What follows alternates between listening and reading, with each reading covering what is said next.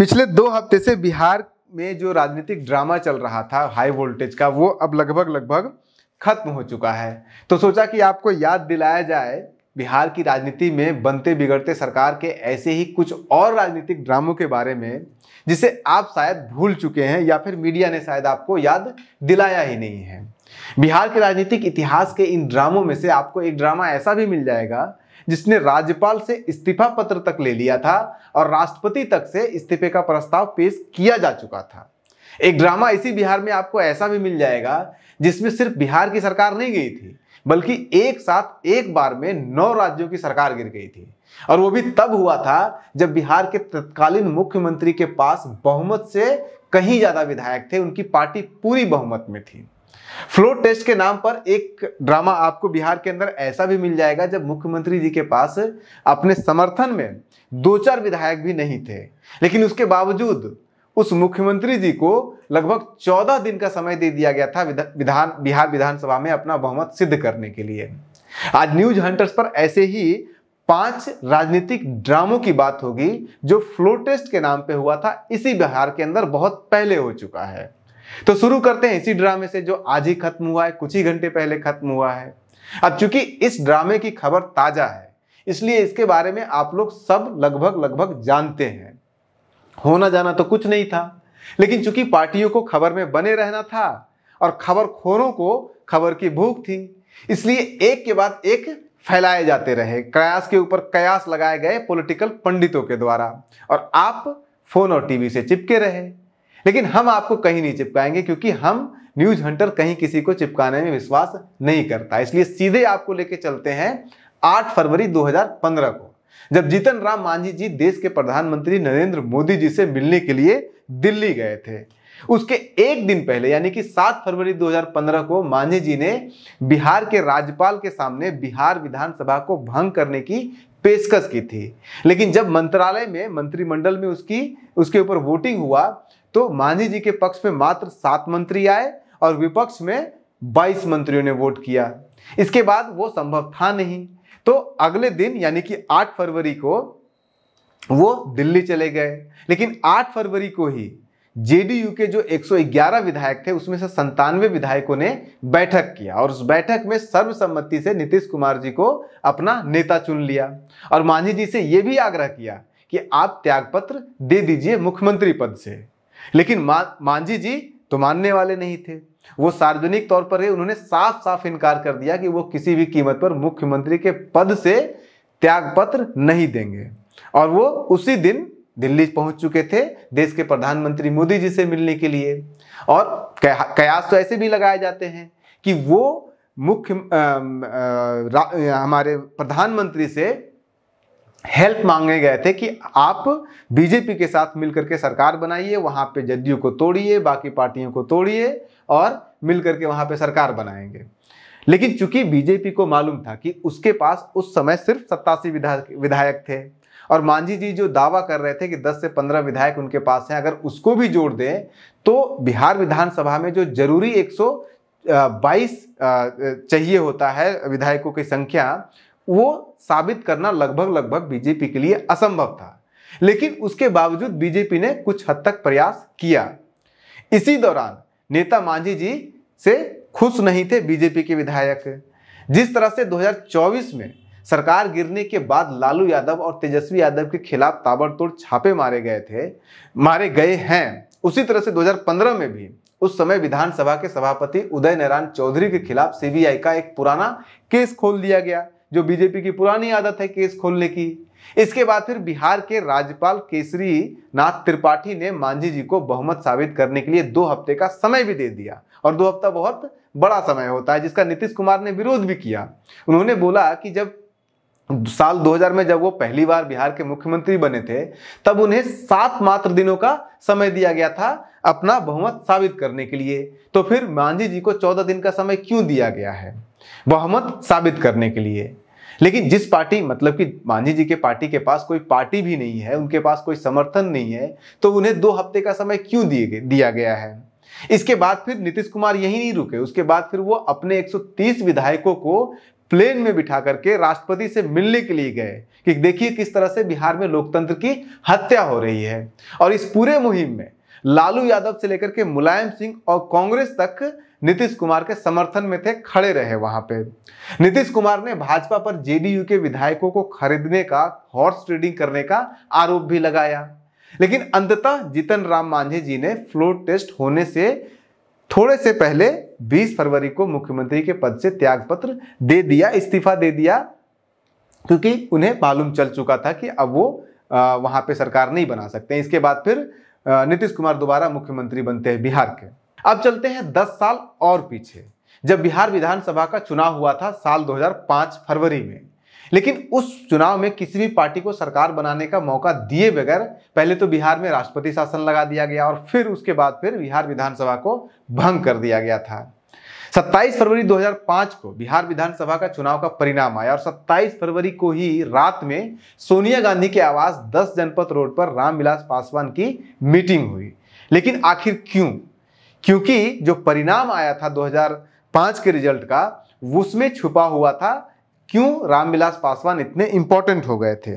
243 बिहार विधानसभा के चुनाव में सबसे बड़ी पार्टी आरजेडी बनकर के उभरी थी, जिन्हें पिचहत्तर सीट पे जीत मिली थी। दूसरी सबसे बड़ी पार्टी थी, जेडीयू, जिन्हें 55 पे मिली थी, बीजेपी को 37 और रामविलास पासवान को चौथी सबसे बड़ी पार्टी उनतीस सीटों के ऊपर जीत मिली थी। इसके अलावा कांग्रेस को 10 मिला था एमएल को सात सीपीएम को तीन सीपीआई को एक एनसीपी को भी तीन मिला था और एसपी को चार सीट मिला था और सत्रह निर्दलीय थे। अब इस गणित को अगर सही से जोड़ घटा गुना करके देखेंगे तो आपको ये समझ में आएगा कि रामविलास पासवान के बिना कोई भी पार्टी सरकार वहाँ बना ही नहीं सकती थी। सबसे बड़ी पार्टी होने के नाते आरजेडी को बिलावा मिलना चाहिए था सरकार बनाने के लिए, लेकिन रामविलास पासवान किसी भी कीमत पर आरजेडी के नेता लालू यादव के साथ सरकार बनाने को तैयार नहीं थे। पहले तो सभी निर्दलीय विधायक लालू यादव के साथ आते नहीं और बिना रामविलास पासवान के साथ लिए सभी गैर एनडीए पार्टी के विधायकों के साथ सभी निर्दलीय को भी एक कर दिया जाता, तब भी उनके पास 119 विधायक हो 119 विधायक ही हो रहे थे और बहुमत के लिए चाहिए था 122 विधायक। दूसरी तरफ़ सबसे बड़ी पार्टी, जेडीयू, दूसरी सबसे बड़ी पार्टी, जेडीयू को अगर बुलावा दिया जाता सरकार बनाने के लिए तो रामविलास समर्थन देने के लिए तैयार थे। लेकिन भाजपा के साथ जाने के लिए तैयार किसी भी कीमत पर रामविलास पासवान नहीं थे। रामविलास पासवान का साफ़ कहना था कि न तो वो किसी भ्रष्ट आरजेडी लालू यादव के साथ जाएँगे और न ही वो सांप्रदायिक भाजपा के साथ जाएँगे। वो चाहते थे कि जेडीयू, एलजेपी, सभी वाम दल, कांग्रेस और सभी अन्य गैर सांप्रदायिक पार्टियाँ जो इंडिपेंडेंट आए हैं, वो सब मिलकर के सरकार बनाए।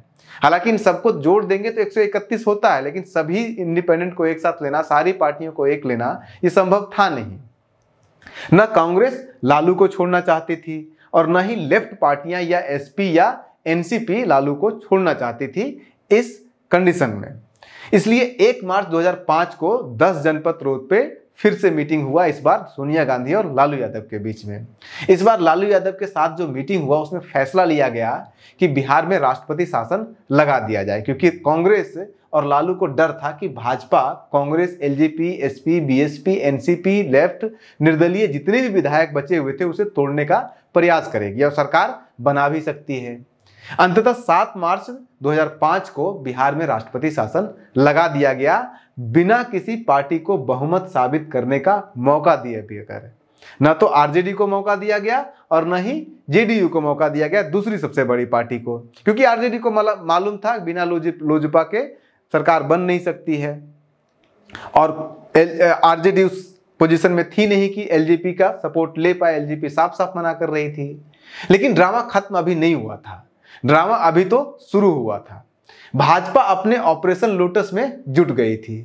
दो दिन के भीतर भाजपा एलजीपी के कुछ विधायकों को तोड़ने में दो महीने के भीतर भाजपा एलजीपी के कुछ विधायकों को तोड़ने में कामयाब हो गई।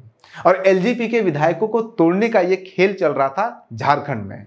झारखंड में इसलिए क्योंकि झारखंड में ही ज़्यादातर बीजेपी के विधायक वहाँ से जीते थे। ललन सिंह इसमें मुख्य भूमिका निभा रहे थे क्योंकि तोड़ने में माहिर आदमी है वो। दिल्ली में फिर हलचल बढ़ी।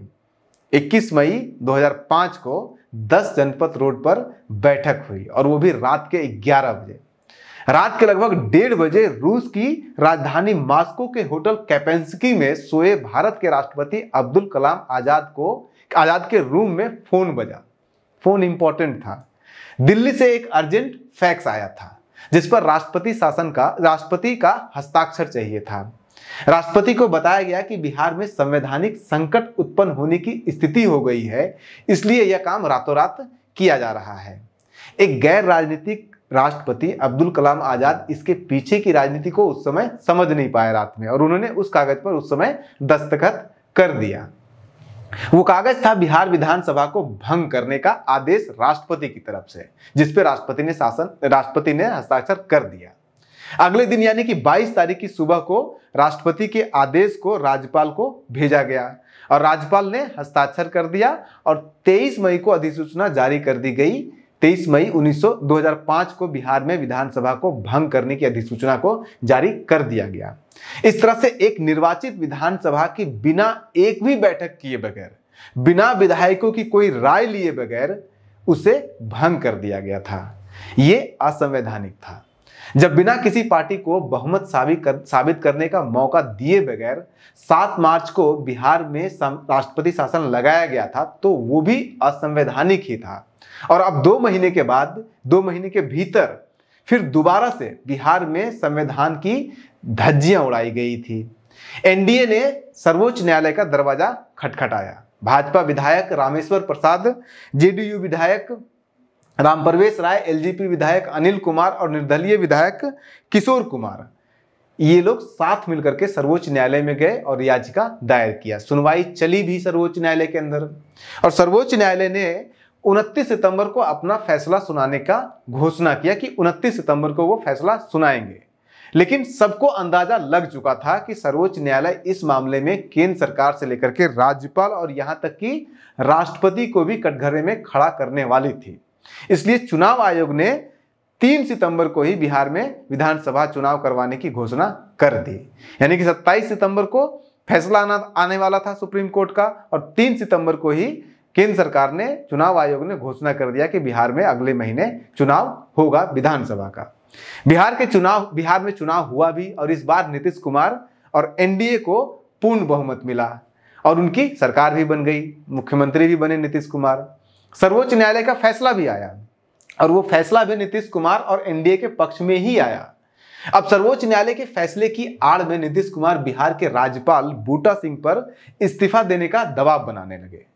बूटा सिंह ने भी तब तक इस्तीफा देने से इनकार कर दिया जब तक कि सर्वोच्च न्यायालय विस्तृत तौर पर लिखित रूप से अपना फैसला जारी नहीं करते और अंततः वो फैसला जारी भी हुआ। 24 जनवरी 2006 को सर्वोच्च न्यायालय का अंतिम फैसला आया। और 26 जनवरी को बिहार के राज्यपाल बूटा सिंह ने सलामी दी 26 जनवरी की गणतंत्र दिवस की और इस्तीफा दे दिया।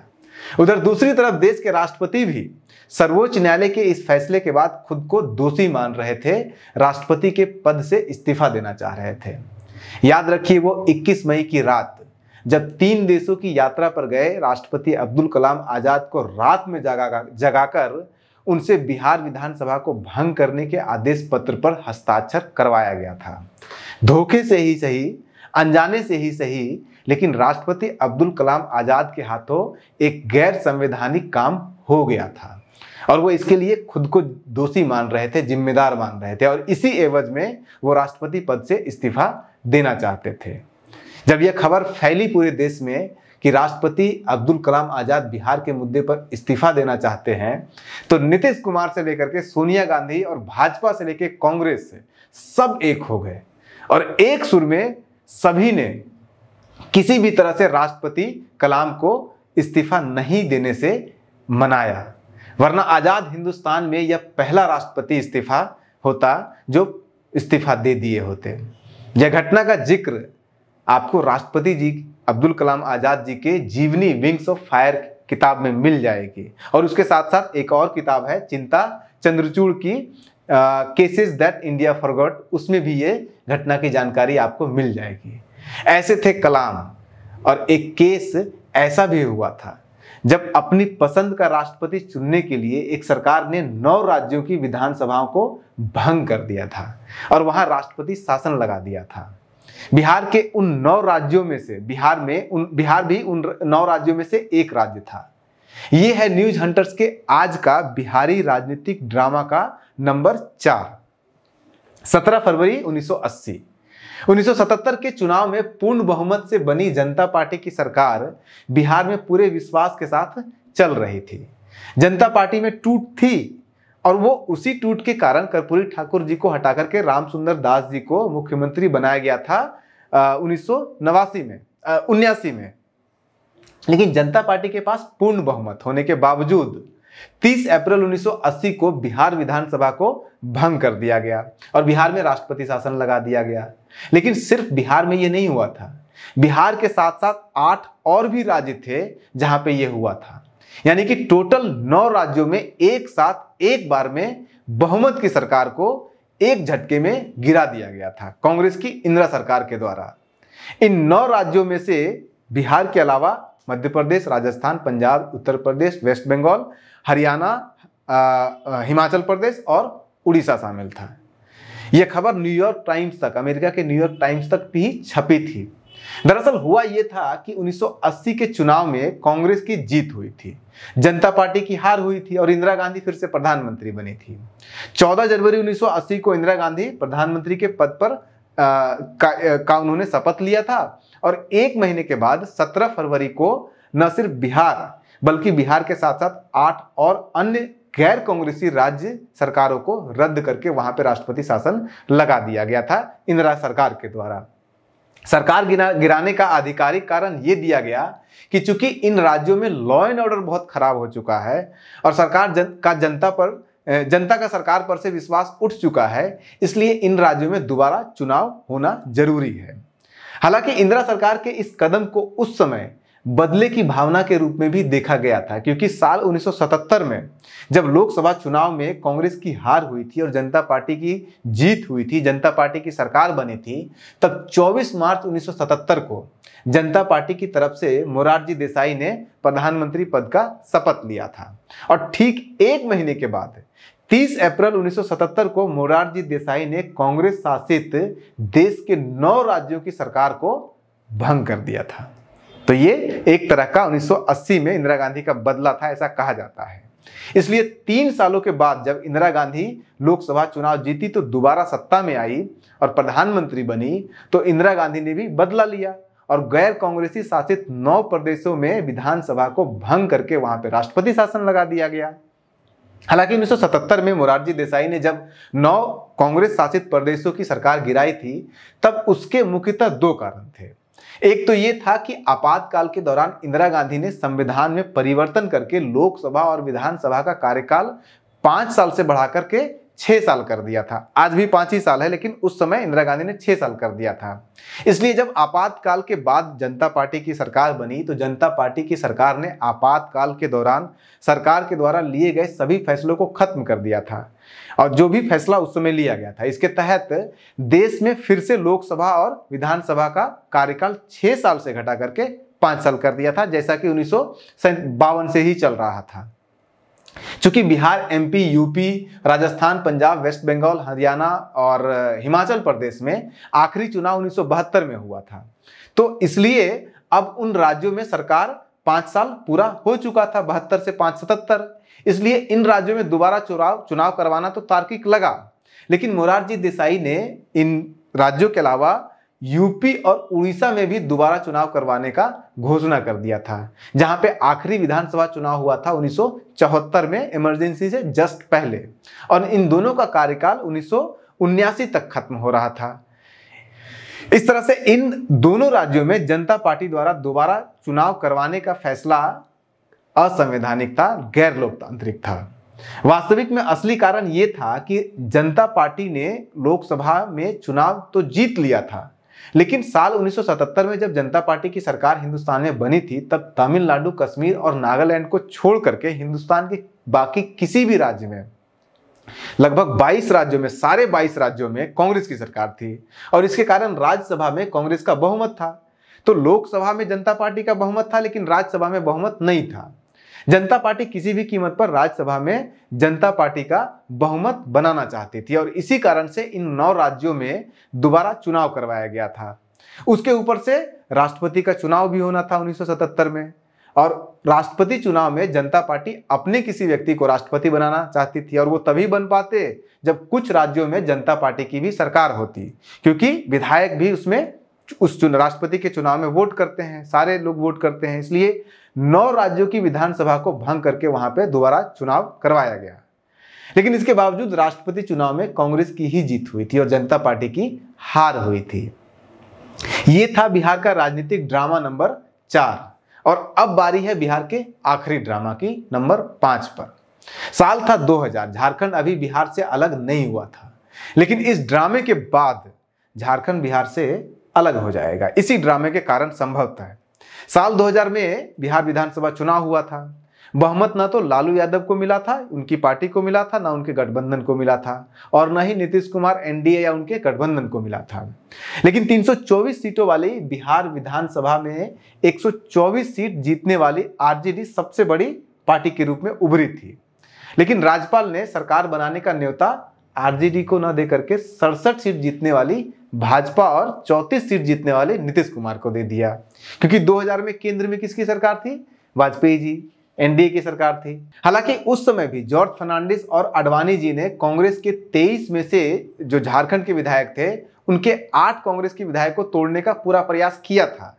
लेकिन सिवान के सांसद शहाबुद्दीन सभी कांग्रेस विधायकों को पटना के होटल अशोका में नजरबंद किए हुए थे।